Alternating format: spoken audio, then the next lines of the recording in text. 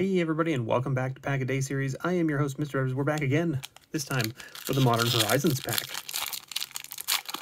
Will we find a Wrenn and Six, right? That's the big that's the big ticky from this one. Oh, these ones are in reverse order, right? So you got to kind of go like, okay, so that's that, and then that should be your land. There it is, and then that should be your rare, and then there should be three uncommons onto the front there like that. And then if we flip this over, it should be a common. There it is. Look at that. See?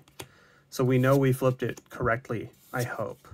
And then if you had an uncommon on the front, that would mean that you have a foil, which means you've then flipped your foil first and then your rare, um, and then your uncommons. So that's how you can figure that out.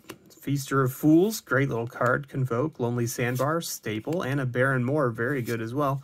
And we got a Bazaar Trademage as our rare. There you have it. Thanks for watching.